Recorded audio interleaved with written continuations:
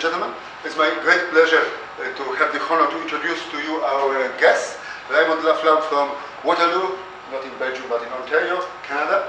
And I will tell you that he's one of the few people who does theory and experiments himself. He did uh, research in UK working on black holes in 4 plus 1 dimension with Stephen Hawking. Experimentally. Experimentally, of course, yes. Then he moved to US, worked with uh, Wojciech Żurek in Los Alamos. Now for more than 10 years he's in Canada. He worked to create first the Perimeter Institute, later Institute of Quantum Computing, and now he is a director, uh, executive director of this institute, and he will tell us something about testing Born rules. Thank you. Thank you, Carol, very much. It's a great pleasure and an honor to be here. And I, again, thanks Carol for organizing my visit to Poland this time. I came here about 25 years ago as a student, and I came and see that things have changed quite a lot, certainly on the surrounding and things, but the warmth of the hospitality has not changed. And so, great pleasure to be here. And today I'm going to talk about testing Born rules, but before I go, I'll make a little advertisement for the Institute for Quantum Computing. It's an institute which started in 2002. It's about a $350 million uh, program in Canada for quantum information with the goal of develop, developing quantum information science and technology. The size of the institute is 22 faculty who are working solely on quantum information science with about 45 postdocs, 116 students, with some staff that makes about an institute about 200 people together working on developing quantum information science. Uh, we collaborate with quite a lot of people. If you don't know where is the Waterloo of Canada, then the one from Belgium, it's kind of about 100 kilometers west of Toronto. We have a series of programs. Here's students, postdocs, research assistant, associate faculty, faculty. We have a lot of program for undergrad students. We have a program called USEQIP, undergrad, summer school in experimental quantum information. So if you are an undergrad here, or if you do have undergrad, please go to this website, like you see that you waterloo.ca, and you can learn about it. We bring about 20 undergrad students every year for two weeks. And we, we don't expect the undergrad to learn much, to know much about quantum information when they come. But when they leave, they'll have done a few experiments in quantum information science with a few quantum bits.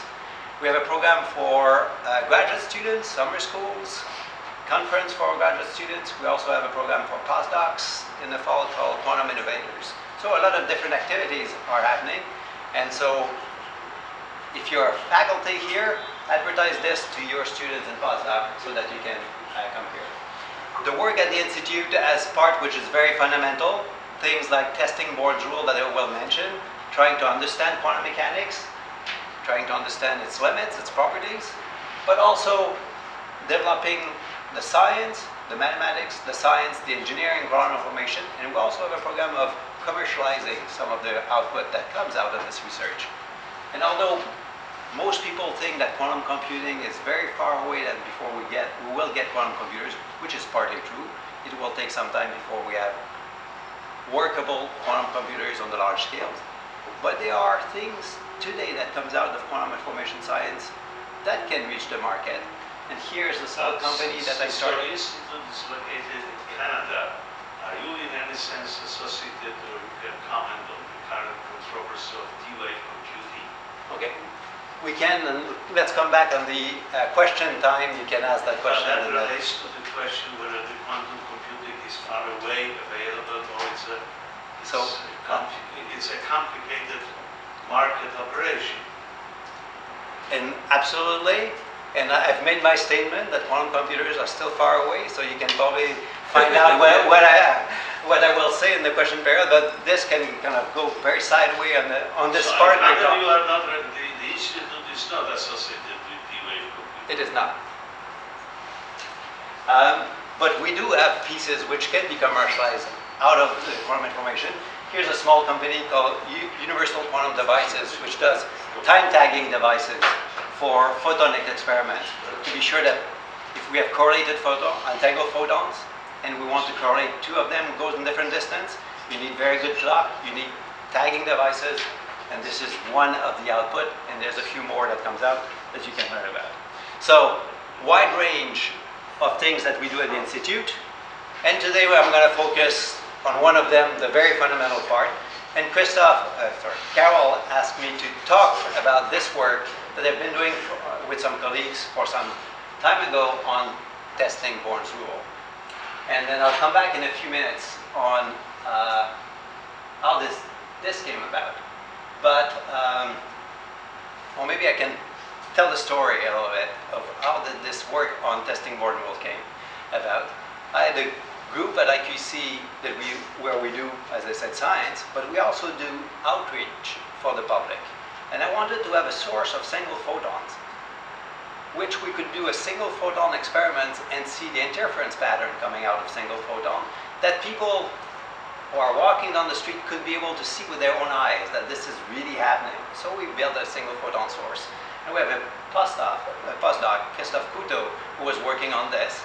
And when he got the source working, he said, why do we do this outreach stuff? Let's do some piece of interesting science with this source. So I said, do you have any suggestion? He says, yeah, I heard there was an experiment with three slit that nobody has done. To which I scratched my head and I said, we're in, at the time we were in 2008 or 2009, I said, the two slit experiments is well known to everybody. And having a three slit experiment should have been done years and years ago. And he said, oh, I don't know, I don't think, I think this is something new.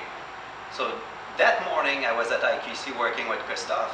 In the afternoon I went to the Perimeter Institute which is about uh, a kilometer and a half from the Institute for Quantum Computing, and bumped into a friend of mine, Faye Dowker, who was a student in Cambridge at the same time as me, and Raphael Sorkin. And they asked me what I was doing, and I mentioned different things. And I mentioned this three-slit experiment, saying, oh, I have this postdoc who wants to do a three-slit experiment, I don't know what it is. And Raphael Sorkin said to me, oh, I suggested that experiment. So I was very, very surprised. I said, good, so then you can tell me what it is about. And this is what I'm going to tell you about today. What is this three-slit experiment? And how does it test Born's rule? So, on this, what is Born's rule? So, it is one of the postulates of quantum mechanics. So here's the usual five postulates of quantum mechanics that you learn when you go and take a course in quantum mechanics. First one, states are represented by vectors in the Hilbert space. So this thing Excuse of. Um, Yes. I'm a bit confused. Uh, There is something like an interference analysis, just gratings, right? They have many rows, so I believe the experiment which There, we do is always uh, more than two slits experiment. well, you can do experiments with two slits, and No, uh, but two People slits, have done more- more than two slits? talking about the Oh, so if you wait a little bit, you'll see what is interesting with three slits. So be a little bit of patient, I'll get, I'll get back to this. So states are represented by vectors in the Hilbert space. Evolutions are represented by unitary operators. And then after a measurement, then you, if you measure again, you measure exactly the same thing that you've measured on the first things. Third postulate of quantum mechanics. Number four, outcome corresponding to eigenstate of the measured observables, and then only one of them is detected. So we don't measure the whole wave function, but only a component which are related to what we are measuring. We're measuring the eigenstate of a particular operator, and the Born's rule comes in and tells us that the probability of observing the eigenstate psi k comes in at the modulus square of this particular eigenstate. Okay? So the Born rule is that if I give you a wave function, I'd expand it in terms of the eigenstate of a measuring operator. The coefficient psi k of this will give you modulus squared is the probability of measuring that particular result. And it is this that we're going to test. Okay? Now you might say, why are we interested in this? Well, quantum mechanics works pretty well. It works very well, as you have mentioned. So it must be pretty good. It must be pretty much psi squared. But maybe there's two possibilities in the future of quantum mechanics. Either it is the final theory that we have arrived at in 2000, the year or from 1926 up to today, And that's it. It's exactly a square, and that's it. The rest of most of you doing theoretical physics is just pushing that theory of quantum mechanics. There's another option that maybe quantum mechanics is not a final theory, and some pieces of these axiom, axioms are not going to be right. And the interest to me is to try to find is there a limit to quantum mechanics? Is there places where it fails? in looking for different places. And when you do this research, there's a chance of failure that maybe we will not find violations of quantum mechanics. But if we, if we go to the other side, if we find some violation of quantum mechanics, it would be truly revolutionary. Well, we already know that some of the axioms are not totally right, because this axiom number four is inconsistent of this. That when you measure, the evolution is not unitary. So we all know that there's something that really don't, we don't really understand the foundation of quantum mechanics. So we can question these assumptions. But here is the one that I'm going to work on or talk about most during this talk today. So,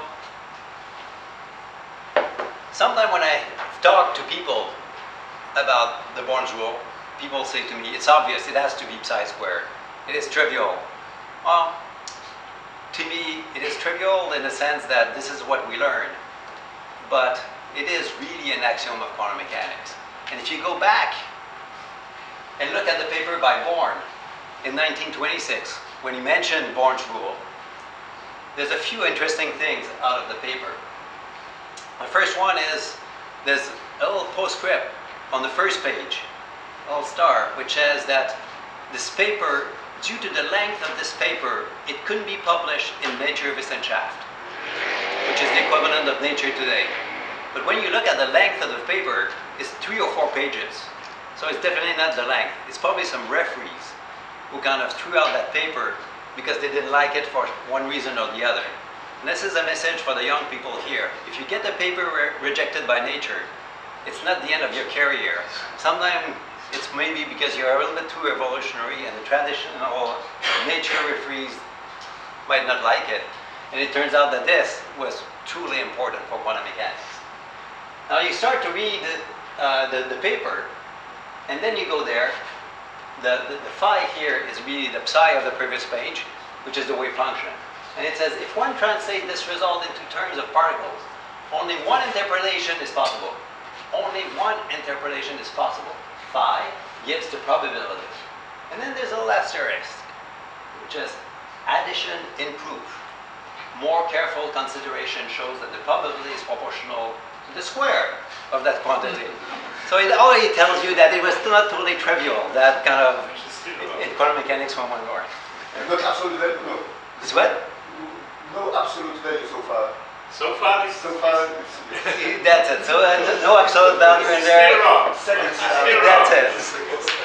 And he got a Nobel Prize related to that work. So you can show that you can have things which are not totally right and still have some incredible insight in the world in which we live. So in his Nobel, uh, Nobel lecture in 54, Born says, again an idea of Einstein gave me the lead. He had tried to make the duality of particles, light, quantum, or photon, and wave and waves comprehensible by interpreting the square of the optical wave amplitude as a probability density for the occurrence of photon. This concept could at once be carried over to psi function. And there he has the modulus of psi squared. So it was slow, but he got the right answer at the end after a few trials, all to represent the probability density of electrons or the particle. It was easy to assert this, but how can it be proved? And so I don't think you can prove it. I think you can do experiments and verify that this agrees with experiments. And this is the story of this talk. So I'm going to talk about a way of generalizing interference in a theory which would generalize quantum mechanics and see But how what would you consider to be a proof other than the experiments which, which agree with this possibility? That's exactly what I said. No, no, you can prove that square, modulus square of psi square has all, of psi has all pro- mathematical properties of probability density. But It you can can- be normalized, it's real. it's not negative. It's, it's, it's not not negative, it's uh, real, is uh, conserved. Can, can be normalized, and this is, you may then call it some, with a different So, but word, can, but it is But is, is this worth discussing? You know, No. what can be proved in physics is mathematics, the rest is Yeah. experiments. Yeah, sure, of course. you can prove that it is consistent with some a priori uh, properties that you want, that it is consistent with something, but you cannot prove that nature obeys that theory. You can only verify it through experiment. And this is my, this is my simple point. And I'm not saying that the mathematics part of it is not beautiful. In fact, there's the Gleason theorem, which says that it- if quantum mechanics is right, it must act of that form. But, but what I'm thinking really is, can we generalize this? Can we find a hint of the breakdown of quantum mechanics? That's what I think would be really interesting. Unfortunately, we haven't found this. Yeah. So far. Yeah, so far. Okay, so I'll talk about the sum, Sorkin sum rules. I'll talk about the funding experiments which test some of these rules. An example of a, uh, an experiment using nuclear magnetic resonance, which is the analog to the photonic one. And then I'll talk at the end about a different way of thinking about Born's rules, which was uh, suggested by uh, Wojciech Zurek, very briefly. And this is unpublished yet, so um, it's all the dots have not been but I'll give you an idea of some It will be other experiments. It will be recorded. Yeah, but uh, again, it's not. This is not an official record in the sense of being refereed. So here, there's a lot of things, and what, the reason I usually don't give many talks on this work on uh, Born's rule and the three slit experiments, but uh, Carol asked me to give this, and the reason why I'm happy to give this here is that a lot of you have worked on pieces of foundations of quantum mechanics, and I'd like to have a theory which violates, or a generalization of quantum mechanics which violates Born rules, which is has some kind of consistency, so we can check and test the parameters in there. And it turns out that initially I thought it would be relatively easy to find such theory, but it could be very hard. So we have, except for Sorkin's way, which is not a dynamical theory, it's just a property of interference. It is the only theory where I can kind of having a real nice things we can test. And I would like to have more so we can either rule them out or see if the world agrees in that. Okay, so let's get back to very fundamental things about interference. Everybody knows that experiments where we have two slits here, we know that the pattern here, there's two possible paths going to the first slit A or the second slit B, and we're looking at what is the probability of what we look here, and the probability is given by the probability if one slit would be closed, probability if the other slit would be closed, and then we have an extra term which is the interference term, IAB, and so remember this, it's always a kind of the cross term that comes in there, and I define the interference as the difference between what you would see if the two slits are at a given point, what you would see if the two slit are- is open, minus the sum of what happened to one slit or the other. Okay? So that's what we mean by interference. And what Raphael Sorkin has been working on is a generation, generalization of this idea of interference. So interference describes the deviation from classical addi- additivity of the probabilities of mutually exclusive events. So here there was two events going up there or there, and these are mutually exclusive. So classically, and so the, the difference is the difference between what happens when those two things are open and the one which are open or not. So in some sense, this is like the classical probabilities. And if the world would be classical, then this interference term would be equal to zero. Okay? If the activity holds, we call this a sum rule. Okay? That's the definition. And a sum rule says that the interference term is equal to zero. And then we want to define a hierarchy of these terms. So here's the different hierarchy. A, B, and C are mutually exclusive uh, possibilities. So the smallest, the smallest part, or the, the lowest uh, sum rule, the zero sum rule, is just that this interference term in some sense is equal to classical probability. That's just a definition to start with. Okay? So If this is equal to zero, then there's nothing to talk about, and then we can go for a cup of coffee or a beer. Now, the second, uh, the first sum rules, okay, is the difference as the one that we've saw, which really tells you that quantum mechanics, in that sense, for single object, is different than what we see in the classical theory. Now we can define a third one, which is now we have three paths. And then we can define it as the sum of the probability of the three slits open minus the probability of two slits open plus the sum of two slits being closed and only one open. Okay? And it turns out that if you look at this in quantum mechanics, you get something which is equal to zero. So again, I'm going to do this explicitly because it's really at the basis. So we have two prob- probability, psi A plus psi B plus psi C. We square this, so you get these three terms, and then the interference term that we had previously. So this is the probability of A plus B plus C. And remember that IAB is equal to PAB minus PA minus PB. I put this all together, and what I get is that the probability of A, B, and C is equal to the probability of AB plus probability of AC plus probability of BC. And by AB, I really mean that A and B are open and I close C. Probability of AC is that probability of A and C and is closed. And then minus probability of A, B, and C when two of those are closed. Okay? And then quantum mechanics tells you that if we have a square here, that this is exactly equal to this. So the third order interference, this term here, is equal to zero. And in order to have a third order term not equal to zero, you would have to change the square there. Okay? So, we know from experiments that things here cannot be that different from square because everything would go to hell. Experiments that we do, things that we see in the world would be very different. Hmm. But we don't know how well it is the square. Maybe it's square plus some epsilon, or maybe the function is not, is different than this, but on the energy at which we are able to reach, or the scale we're able to reach, where just kind of square is a really good approximation. Like, we know that the harmonic oscillator is a good approximation in many, many places, but if you go and push a little bit, sometimes you find a little bit of a cubic term that comes in. And this is what we're interested to look at. Okay? So, if we have a term here which is not square, then suddenly this minus these terms plus these terms is not equal to zero.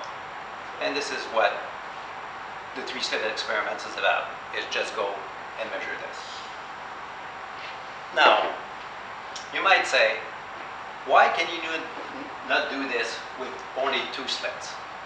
Because if you have only two slits, the probability will be psi A plus psi B, and if you go and measure this very carefully, the pattern of the two slits, you will see a deviation. So suppose that you have only two slits A and B. You look at a pattern here, which looks like this.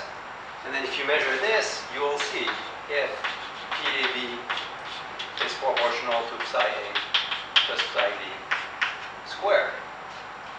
Now, the reason why people didn't go and do this and look at the square is that the pattern that you get here depends on what is the wavelength of the light. You need to know it very precisely. You need to know this very well. And small disturbance in there or imperfect slits kind of make uh, the system make this looks appear slightly differently. Or maybe if you don't know the distance here or the distance here. So there's a lot of parameters that kind of, if they are a little bit imprecise, would look like a change of square if you would not look at it very carefully. But here, this is pretty robust. It doesn't depend on the distance of the slit. It doesn't depend on the precision of the slits. It depends only that you have three wave, three alternatives, and you have the square there. So that's the reason why this is interesting to go and look at this part of experiments compared to the whole two test module. Let, us get the things straight. I mean, this is what you are saying is that there is not a third order. I mean, the, the defect which is the term which is free linear in, in amplitudes in this expression. Yeah. Clearly, because there is a square and not the third power of So, So if you go to the four slit experiment, five slit experiment, it's going to be the same. You will never see the term which is of the third order. It's a- free, free linear term. it's a really good comment that you have, and I should have mentioned it here. So there is a generalization of these terms here. So here I had the third order, the second order interference. There'll be a third one, a fourth one, and fifth one in principle. If one is equal to zero, all the higher order one will be equal to zero. So for quantum mechanics, this one is equal to zero, and all the other ones are zero. But now, if I have, instead of a square here, let's say I have a small alpha, then these terms will come and, and get it there. So, thank you very much. It was a very good, very, very good comment. Okay, so here's the idea of what we're going to do in the experiment. Instead of doing one experiment and measuring this incredibly well, we're going to do a series of experiments and add these probabilities together. So the first experiment is the three slits open. So you can think about this as a three slit. Then we're going to block one. We're going to block the other one, block the third one, block two, and block three. Now,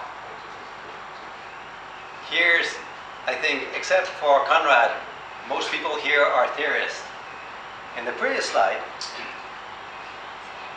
I had only one, two, three, four, five, six, seven terms. But here, I have an eight term. Why is that? So the theoreticians, my friends the theoreticians, and Raphael Sorkin and Dowker says, we don't need to do this. You're gonna see nothing if you block all the slits. Exactly what you want to see. But there is nothing. Now, the problem is that when you block all of this, Conrad will tell you that you do see something in your detectors. Because there are dark counts. Okay?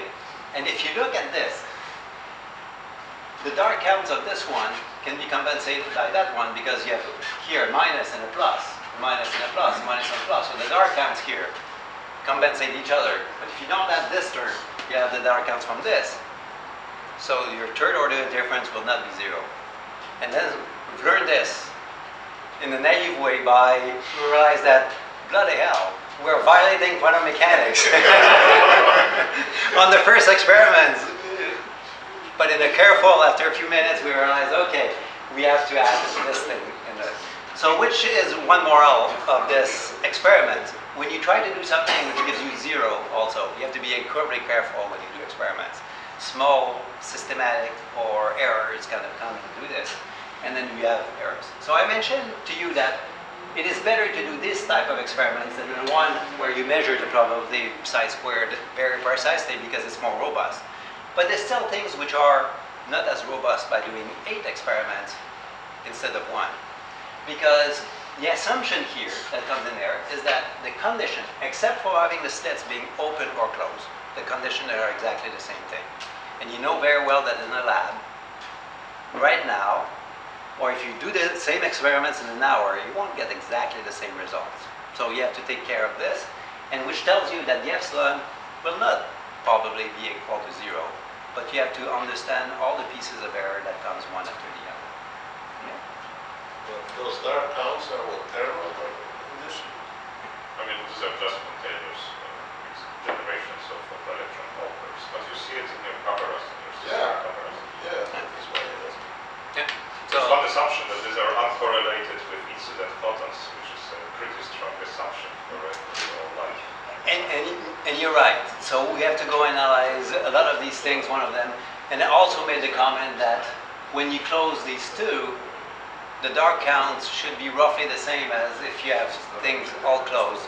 And which is not obvious, and then we will get at the end a value of epsilon.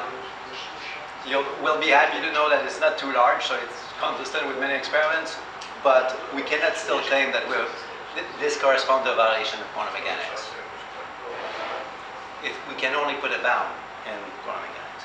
Now, second thing is that when you go and measure this, and if you indeed have fluctuation in dark count, as you wait longer and longer, it's not clear that this is going to shrink, increase, or whatever it's going to do. And at the end, you'll get a number. And if I give you that the number, number is 42, you will not know exactly what it means. So we have to compare it to something. And then we had quite a lot of debate on what are we supposed to correspond to to uh, to uh, compare it to. And what we've compared it to is, in some sense, the two-piece interference that we have. So the the first order interference term, okay, gives us a value of how quantum mechanics violates the classical addition, probability additions. And then we want to know how the second order interference compares to that. So this is the value that we have, we call this delta. And what I'm going to plot is the rho is the epsilon divided by the delta. So might, we had ideas that maybe we should compare it to something else. Uh, you can go and look back at the data we had, and you can go and compare it if you want. But this gives you an idea of what we had, and I, we thought it was a reasonable measure of the, the. Um, so now we go and go and do this. And when I first heard about this experiment, I asked one of the postdoc at IQC, or Sinha, to, Sinha, to go and do the experiment. And I thought, everybody, all of you must have seen the two-slit experiments, right? Anybody saw it experimentally at the single photon level? Good. One. Anybody else? So then shame on all of you who haven't seen it because it, it's supposed to be, or in the year 2000, it was declared as the most, one of the top 10 most beautiful experiments in physics. And I can see in the room here only one person has seen it. Turns out that it's not that easy to see it at the single photon level. So it takes a little bit of work to do it very well. And I thought it was going to be really easy, however, to make it happen. You have a source of single photons, you just put it through slits, and you measure it. And it turns out that it was not that easy. And in part because the wavelength that we had was around 800 nanometer, so which means that the slits, so the first slits here, to have some kind of interference pattern, you need to know that the distance here and the distance between the slits all have to be orders of nanometer, uh, of about a micron. And then you start to think, okay, if the distance between this and this is about one micron, and you want to go and block some of these slits. It's pretty easy to block this one by bringing something from here and put it down. And so you can have something which is relatively big. You can have something from here to block it. But to block the one in the middle turned out to be quite hard. Kind of doing it well, because if you don't do it well, then suddenly you're violating some part of the assumption of uh, the experiments that all these experiments are independent from each other, and you get an epsilon, which kind of seems to be non-zero. So it turns out that we needed to be to have three iteration of how to kind of block this and to how to do this. And at the end, what we did is uh, we first initially tried to block things in certain way in this way, but the best way we found was to make a system with the slits being open, and then have a mask of a material which would go up and down, and which will make these openings. So we had a mask which was a bit like my hand, and then with kind of a little slit like this, and the slit pattern was in front, and these holes here would be big enough so that the light would come, not being affected. And if it's near enough, then suddenly you can make them go up and down, and then have always the same length of the, the slits. Because if you change the size of the slit for a certain amount of time that you are doing the experiments, you'll have the same number of counts. So we have a mask, okay, which comes out of the blackboard, goes up and down. And with this, we can uh, open and close all of this. The first mask that we did, we did this homemade at IQC in the fabrication facility, and it turns out that when it was going to block this, it still had about 5% spurious transmission. And 5% spurious transmission is not good for the experiments that we did. It gives us some epsilon, which is quite large. So it's very sensitive to uh, transmission of light there. Then we have a mask made of chromium and about 3% spurious transmission. Still too bad. And so it didn't work very well. And then I see uh, Conrad saying yes because he's probably seen some of this and saying yes, but I was not a quantum optics person doing experiments, so definitely a bit naive at the beginning. Finally, we learned that with an aluminum professional mask was good enough, about 0.1% transmission, and it turns out that with this, it was not the dominant errors that we have, and we'll go back and look at the, uh, the errors in a few minutes. Okay. I should also mention that when we do the experiments, there's a, we had a single photon, we did this with a laser at relatively high intensity, roughly in the classical regime, single photon, uh, uh, low intensity lasers, and then single photon detection. So single photon sources that comes in there. So we have these three sources that we can use and compare the different values of what we would get for the second order interference. We cannot do the experiments for too long because if you do the experiments it's too long, just temperature gradients, kind of variation of the system, with the system, so you're limited a certain amount. So when you go to the single photons, because the source is not that we had was not deterministic, then there is a distribution of errors in the source also, which leads to an effective violation of this epsilon or third order interference. So here's what the, the, the looks like. A laser comes in, then we have a beam splitter here, which measure the intensity of that laser or the, of the light that will go through. So we can normalize the result here, depending on what, what is the amount of uh, kind of the, the counts or the power that comes out of here. And then we have the three slits, and we have the mask and the opening that are on that side here. Ideally, we would like to have this mask to really rub against the slits that we have, but if we do this, it sticks. And then kind of screw up the system that we have. So they had to be a little bit of a distance from each other, and we could see the effect of this. And by numerical simulation, we could see that indeed the, the, the error in the epsilon that we had, or the rho, was in part due to some of the distance that we have in here. Here's the, the detail a little bit more. The, the laser, this is for the single photon sources. The single photon sources are created in here. The two of them come here. We count one, we count one of them, or we calculate the, the, the source in here. So the, the photon comes here, one, one comes in here, which is polarized entangled photons. We measure here, and depending on when this one measure, we measure to be sure that we have a single photon sources by using what is called the G2 measurement in here. Here's what the very relatively simple optical table element, laser is here, down conversion create the entangled photons. They both come here, one goes here, and depending on when this one click, we have a measurement here of a single photon. And here's what we see when we send not the single photon, but a, a, a laser pulse.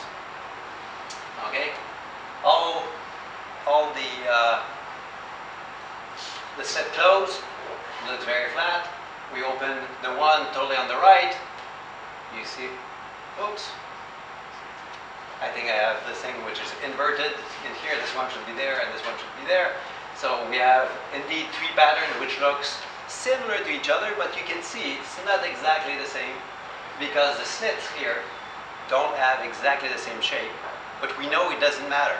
Even if the slits are slightly different in size or not, it doesn't matter. It's the sum of all these patterns which we care about.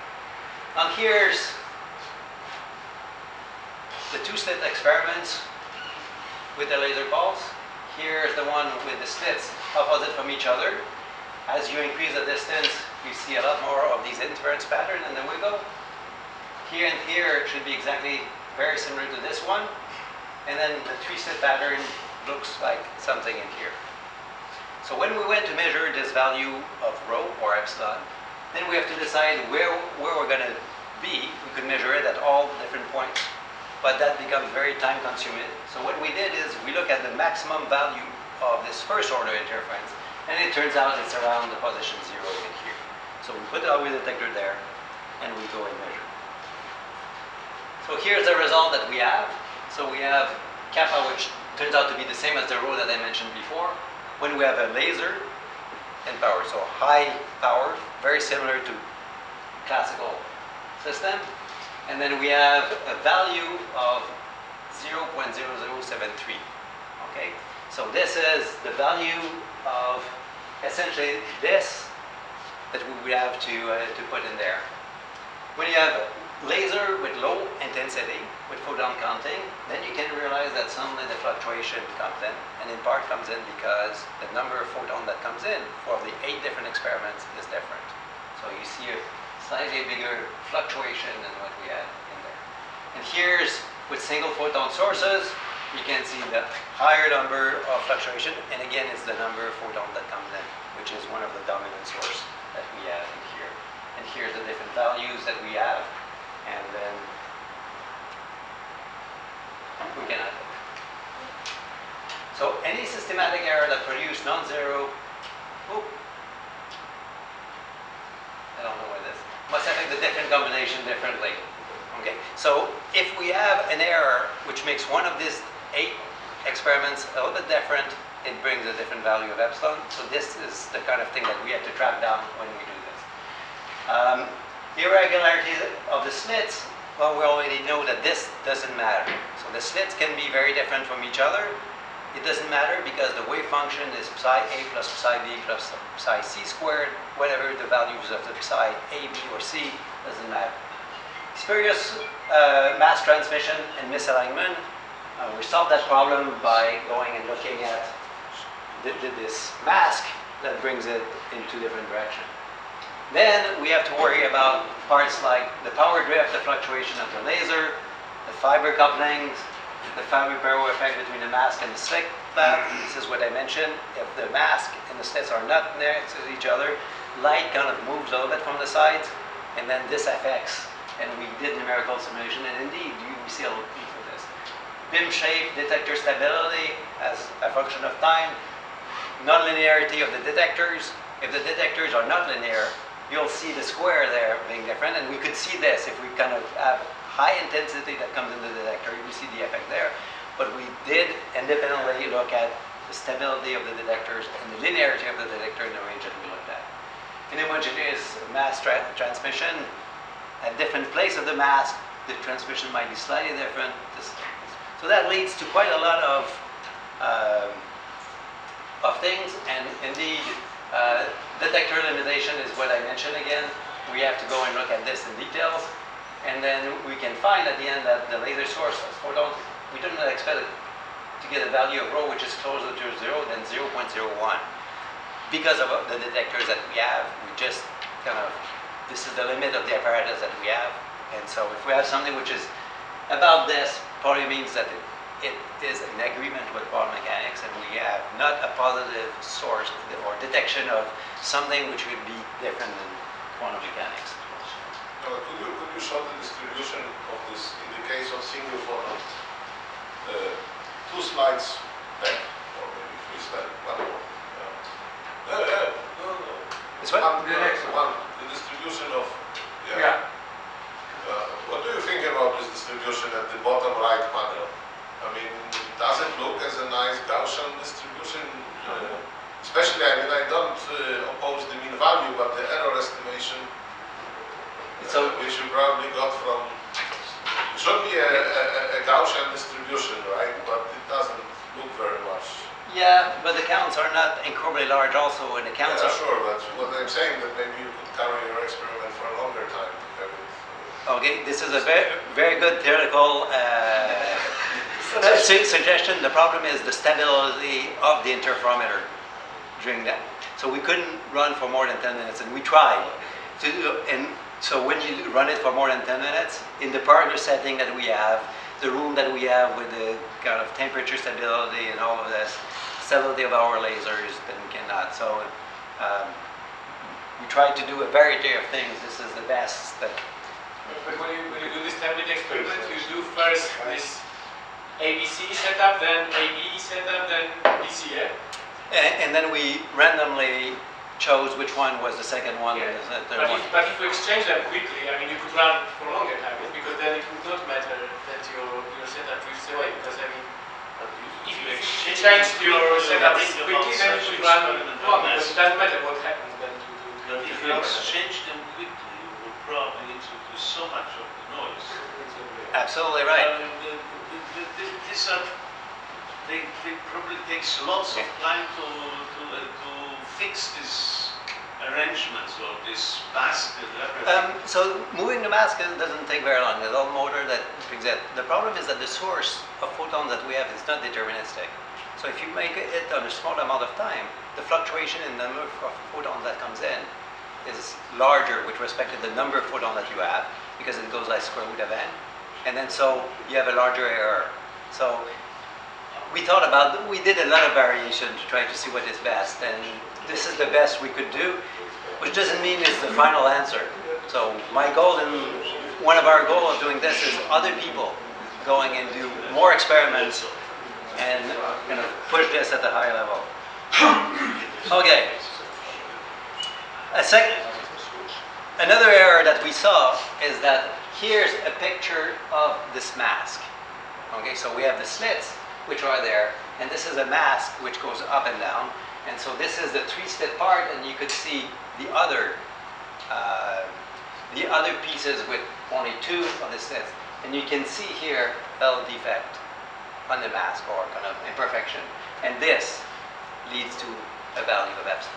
So all these things, and it turns out that this one, it took us a, quite some amount of time before we went to image it and realize that this kind of small things is giving us trouble, which in retrospect we should have done in advance. And, but part of doing experiments at some point you have to say, we've done enough and here's a value and we ask other people around the world to go and do it much better in a much clever way. In fact, I should say,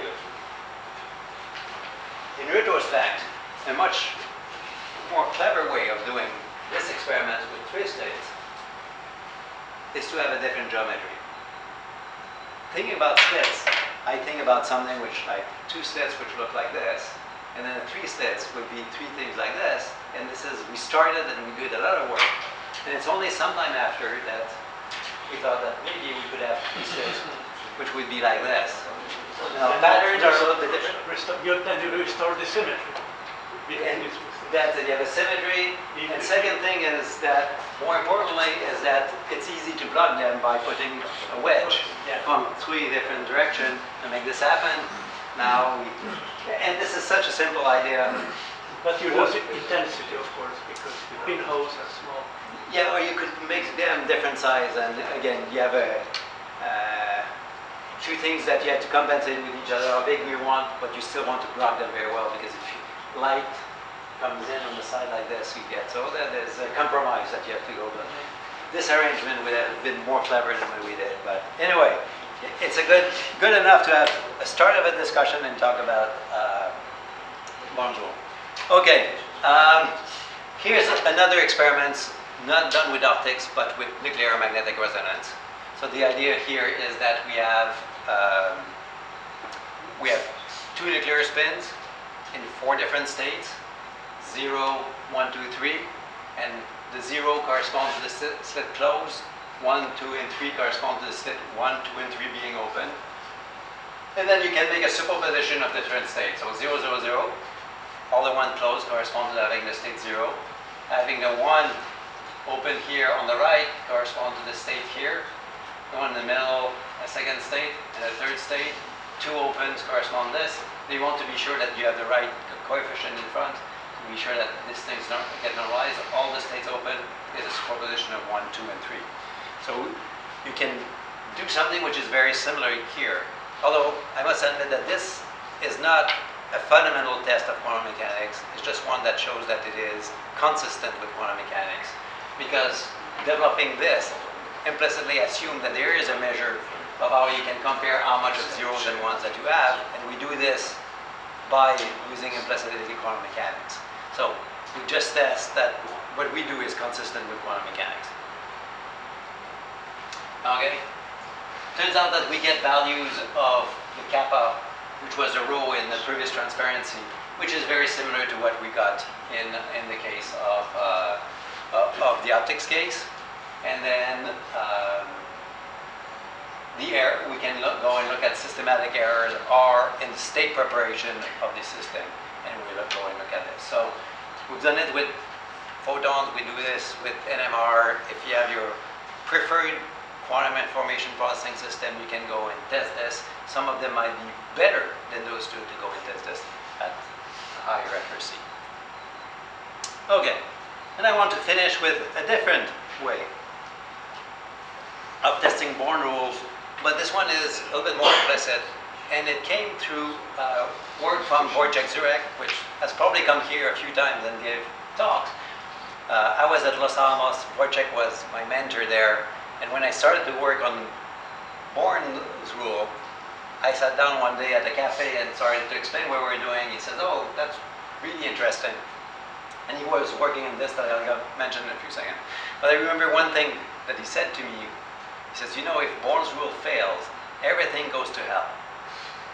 And I said, what do you mean? He says, oh, probability is, you have either probability is not conserved or you have to modify the Schrodinger equation. Modify the Schrodinger equation, then there's other problem that comes in. There's always some weird things that happens, always a challenge. So I remember from this that if Born's rule fails, everything goes to hell. But to which I answered to him with the name I have, Raymond Laflamme, if you change the R for a D, it sounds like démon, which means devil in French, and La Flame, the flame. So with the name of Devil the Flame, I think I can work on something that might go to hell at some point.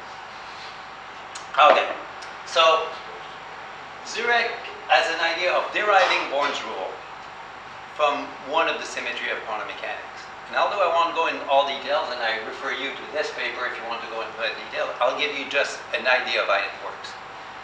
If you look at maximally entangled states of the form 0, 0 plus 1, 1, these states have a really interesting symmetry, which he calls an invariance. Environment, uh, invariant induced uh, something. I forgot it. Invariance. Yeah. Environment, Environment invariance. That's it. Environment induced invariance. So here's the really interesting property. If you have two qubits or two spin half particles and you bring them really far apart from each other, and on one of them you do a unitary transformation u, you can undo the effect of that operation by acting on the second qubit and restore that state u. So if you do US on this, you get that state here. But by doing a different U in here, you get back to the initial state that you started with. Now, this is weird because it tells you that the total system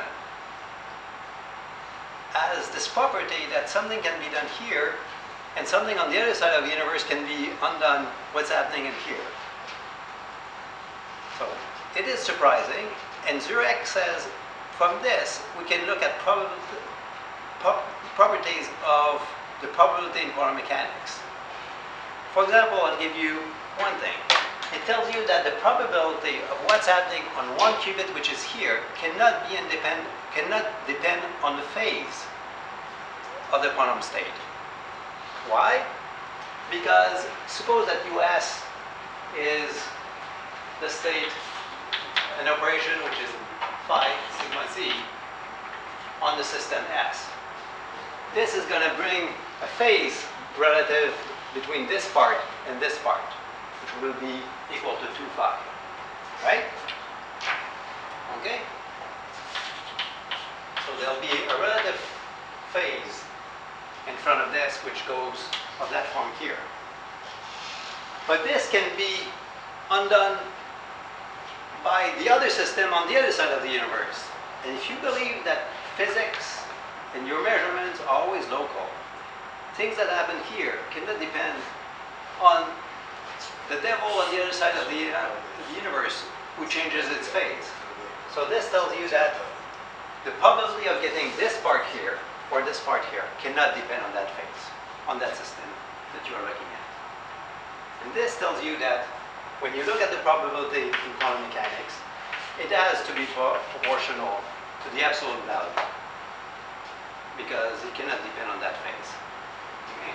It doesn't yet tell you what is the exponent, but it tells you it's the absolute value. He has also an argument, which tells you that it has to be the square.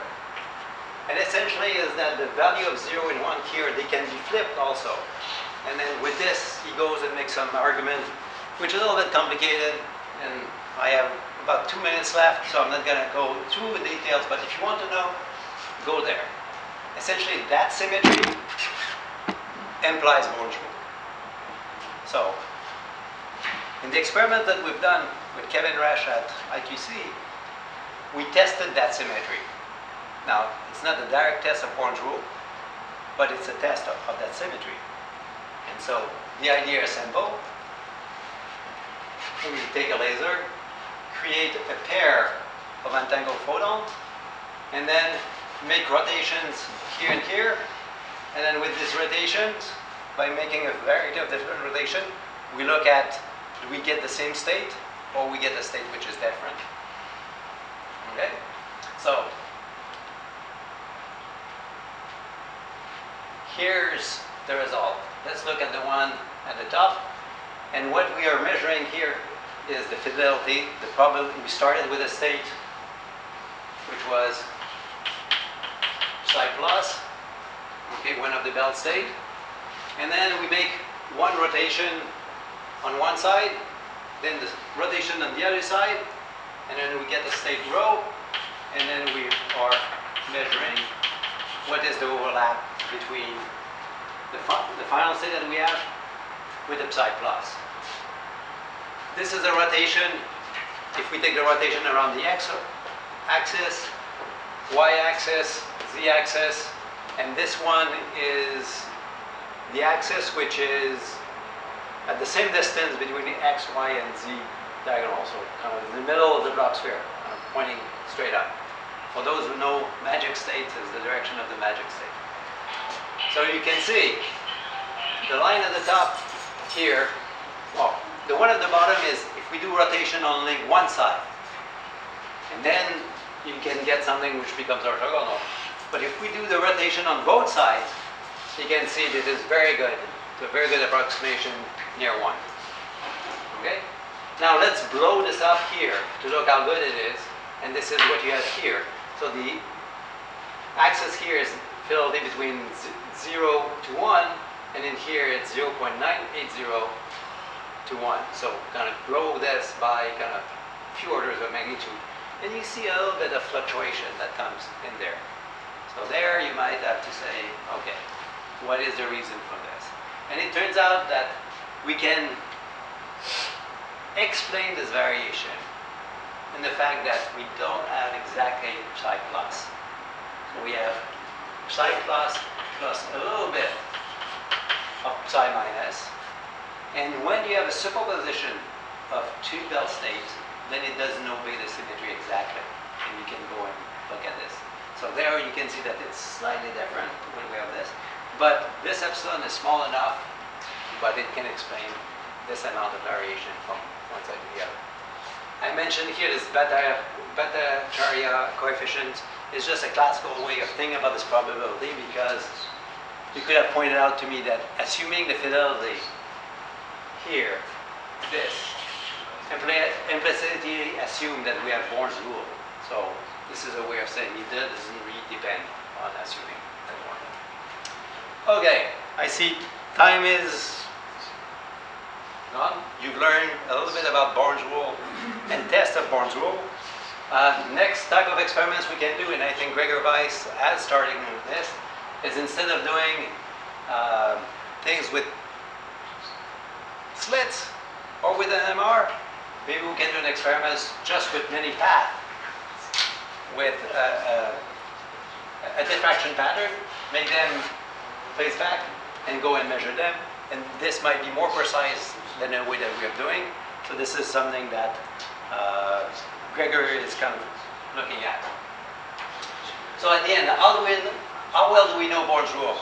So we know that it's pretty good. It's a very good approximation, certainly, to the laws of nature. Maybe it is exact. We don't know. But one of the interesting things that I've learned also thinking about this is the theoretical implication of violating Born's rule. And for quantum computing, has one which is quite interesting. that if you have Born's rule being violated, it turns out that you have many more parameters to describe the state than you have when you have Born's rule. And it turns out that if you have the equivalent of qubits in that system, the amount of information will go up exponentially. To describe these new systems, like these post-quantum systems. And we've learned, and Scott Aaronson is one of those, showed that if you would have a system which violates Born's rule, then it would be a new part in the hierarchy of computing devices. That you would have classical computers at the bottom, quantum computers who can solve some problem exponentially faster than classical computer, and these new systems which violates Born rule can solve problem exponentially faster than the quantum computing one. So from a theoretical point of view, it has some kind of interest as a hierarchy of thinking about the future. There are some experiments related to this and kind of trying to show are these terms there? I hope they are. Because for the young people here, that will be a mine of new interesting theories that we can develop to try to experiment this. And so that's something for the future. Thank you very much.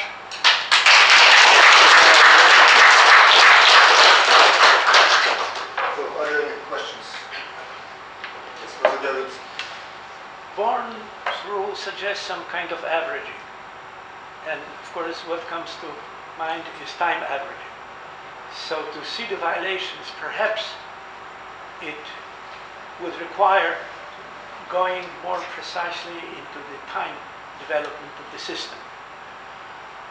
Uh, This is like homodyning that Yeah. we use to make a measurement. And the theoretical idea behind this is the following. Take an electron. Electron's wave function oscillates extremely rapidly. And these oscillations are never seen. Schrödinger equation is just the envelope. When we disregard the oscillations of the electron due to its rest mass, which is extremely fast. And Born's rule might be true because of this time averaging. If one can really go beyond it, So kind of Time.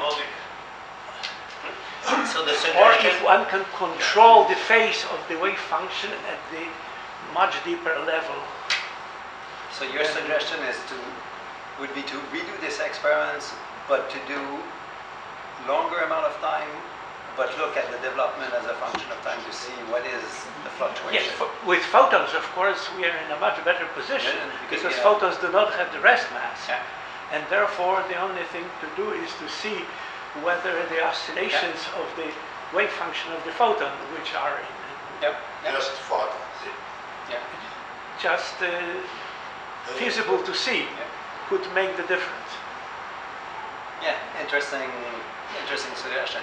I should have mentioned there's also some experiment uh, that people are thinking to do using neutron interferometry to test, again, three slits. We can do very good interferometers with neutrons. And so that's a direction where indeed you'd have things which oscillate much faster. This is how the nonlinearity was ruled out by. A- Absolutely.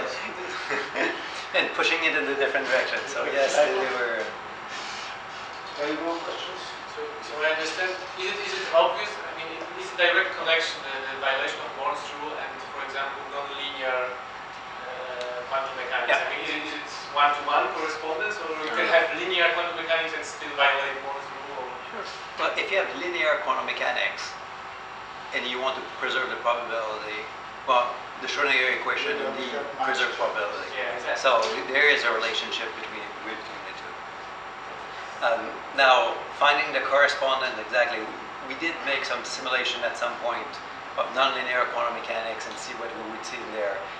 But my co-authors had some challenges of how we normalize this wave function and all this. Then at the end, we decided not to go further. But if somebody has a theory with some nonlinearity of quantum mechanics in some form, then I'm interested because we can see what are the limit of these parameters in there. I had one, but that was ruled out by Yeah, people yeah. Yeah. That- so At least they push, pushed this. Yeah, exactly to a parameter which is extremely small. and, That's right. yeah. Which is quite interesting. That what is why is quantum mechanics in, in that way? And my gut's feeling, which changes from day to day because things that we don't know should be different. Maybe because we are looking for a quotation, violation of the quantum mechanics in a completely wrong way. I want to, I want to tell that uh, the Newton's mechanics was not violated, quotation, by looking on the fact that it fails to predict the motion of a car on Yeah. the highway. Absolutely. It was, it was violated by completely different part of physics when, when, when it comes in contact with the Newton mechanics. So I think uh, you can rest assured that these kinds of experiments will hardly ever have a chance of showing that quantum mechanics we know is not good. However, there is, a, it is also obvious that the quantum mechanics is not the final science. Yeah. There will be something That's- else, and that, that's also very obvious. But we are just looking for it, for this new science in the wrong way. That's, And, and in fact, this is exactly what motivated me looking at Yeah. this part because nobody had looked at, well, there Yeah, was the nonlinear exactly, was there, but this was a little bit This different. exactly. Yeah, I said- I have a technical question. Did anybody look at the experiments of the kind of a recent experiments by electron diffraction on the molecules? I mean, we have a lots of molecules which can be three slits, sort of. I mean, the linear three Yeah. atom molecules. I mean, and actually, because nothing will change if you will put the force in the experiment, right? With the organic molecules, there are four atoms that will do it. That hasn't been proved that probably. Not that Or I maybe know. accuracy is not good enough. So, Presumably, presumably the argument is technical, that the accuracy. Yeah, this one is how to control the number of slits open by, Yes. by, By by the molecule. When you never have a single molecule hanging right in the air, you put it up in some kind of a matrix and you can easily uh-huh. arrange them.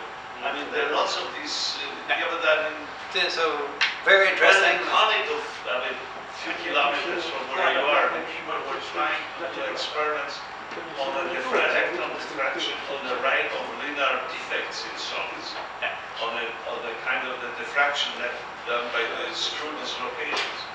But this is also the accuracy, much better And, and the surprise to me in doing these experiments is that it was very sensitive. And, and part of my conclusion is when you try to get a, an experiment to show that something equal to zero, uh, precision experiments, you have to, you never get zero, but you have to work very hard to understand all the pieces of the errors, and uh, it's, it's quite interesting. Okay, yes, one more question. Yeah, Yes. Uh, just a more experimental question, that is, the single quantum double slit experiment I saw a double slit experiment that was using a biprism. It was experiment in Paris in Thomas Farrell's team. And the reason we used the biprism instead of two slit is to have much more uh, data. Yeah. Because, and did you think about using either three lenses or three prism or, because nothing can have zero Yeah, experiment to yeah. be three poles. It's a, no, we haven't thought about it, but it's interesting, and indeed, you, you might be able to get a better uh, count rate that way, and then having the fluctuation of this row parameter much smaller. So that would be an interesting experiment to do. Okay, so, thank you very much. If there are thank you very much.